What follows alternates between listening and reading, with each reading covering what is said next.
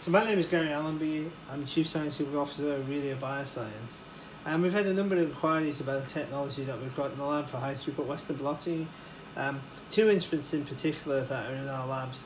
One is called WES and the other one is called Jess. And basically I'm going to speak about Jess today. Um, but uh, most of the most of what I'm going to talk about also applies to WES as well. So this is the box um, from a company called ProteinSimple, called JESS and it comes with a number of consumables that you utilize in order to do high throughput Western blotting. Okay, so these are the consumables that you order and get in the box.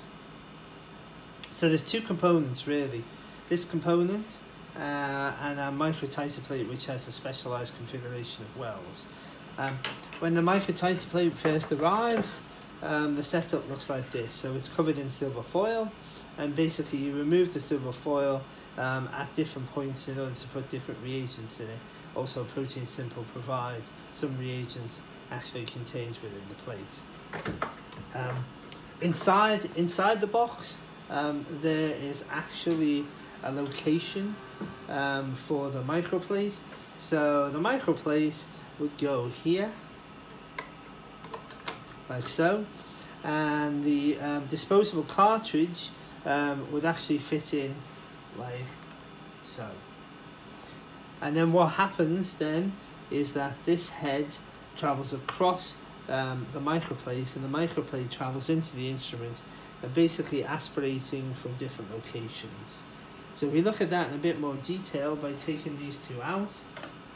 So what we have here are actually 25 um, glass tubes, very narrow bore glass tubes right? and these are actually uh, what we utilize rather than the nitrocellulose membrane in order to be able to do the uh, separation of the protein. And this has a particular configuration, as you can see, of wells. And what we do is we put our proteins, so our sample lysates, go into um, the first column. And then in the second column, we'll put into there our um, primary antibodies. The third column, secondary antibodies the luminol, etc. Yeah? And then as I said, what then happens is the instrument comes along and it first of all will aspirate um, solutions that will then create a almost like a column inside each one of these glass uh, capillaries. Um, and then what it will do is it will aspirate your sample, so it will aspirate your, your cell lysate. And then what it will do is it will then um, it will then run it in, a way such that it begins to separate your proteins um, as it goes uh, up the column. Um, and then once it's separated those proteins, what it then does is it then washes away, it then treats um, the glass uh, capillary with UV light in order to fix your protein onto the inside of the capillary. Then what it will do is it will then wash away the, uh, the gel inside the capillary. Then it will go and aspirate the primary antibody, then it will aspirate and wash, then it will aspirate the secondary antibody and wash, and then it will go and aspirate the luminol, and then basically you will then end up with a chemiluminescent signal um, which is in each one of these uh, lanes. Um, and that chemiluminescent signal is then picked up by the camera inside the instrument. So it takes about three hours for a WES to run or a JESS to run. Um, and then what we have is, is the runtime images. Okay, so uh, if we have a look at a um, animation, um, which actually is a small movie that represents the samples uh, traveling down the glass glass rods, what you can see here are actually um, the samples uh, fluorescent. And then as we um, take the movie backwards in time, so to speak, what you can see is the movement back up the glass rods. So if we start at time zero, we're basically here, and then as time goes by, as the run goes by, which takes approximately three hours, then you can see the proteins in each one of these 25 glass rods progressing as the run continues, yeah, until the run eventually ends at this point here. If we then if we then go from the runtime summary to the actual assay and then the analysis, um, what we can actually do is we can then um, put on the different um, samples here as I go across and then you can start to see in what I would call the traditional mode um, what each of these looks like from the point of view of chemiluminescent signal from each one of the lanes.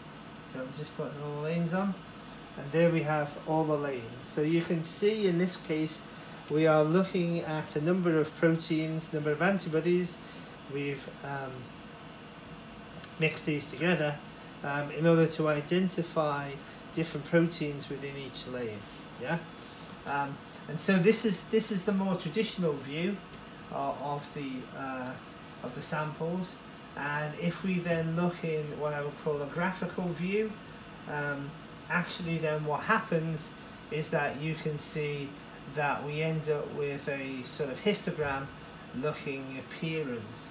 Now if we just focus on just one of these, um, what you can see here is basically on the x-axis is molecular weight and on the y-axis is chemiluminescence and the number up here represents the uh, apparent molecular weight of, of that particular protein according to um, effectively um, this lane over here yeah um, and so in graph mode it looks like this and we can either say the peak height and take the peak height as an idea of how much protein we have or alternatively we can do area under the curve. Um, now if we were to take a number of these, yeah, um, the interesting thing is that what we can do in terms of lane view on the uh, well, JESS in comparison with the WES is that we can look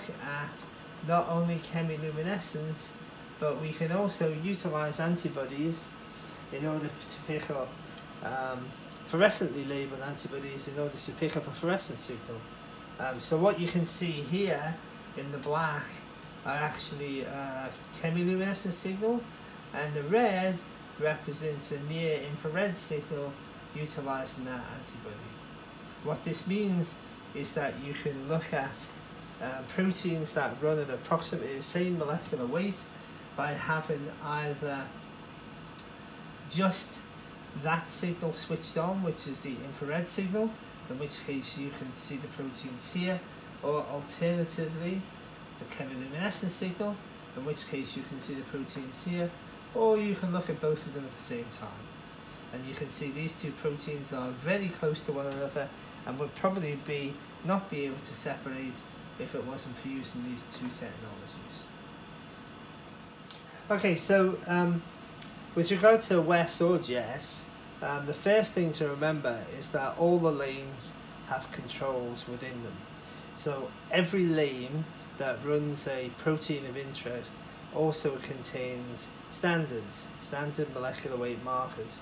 These are fluorescently labelled and what this means is that the instrument utilises those markers in each lane to decide where that particular molecular weight lies and compares and contrasts it to your protein of interest. So if we look at our analysis and we go to um, standards then what we should be able to see as we put on our our samples is in fact where the computer has identified where those are yeah? And so the computer has basically identified these standards yeah? And so if we look at those in terms of a graph view you'll see that they all appear in certain locations um, on each one of the glass rods. And it's basically utilizing the where these appear right? In order to compare and contrast those with your samples of interest